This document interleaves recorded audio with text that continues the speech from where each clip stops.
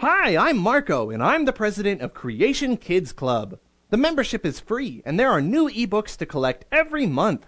We hold special meetings and read alongs, and this is an invitation from me to all the boys and girls to come join Creation Kidz Club.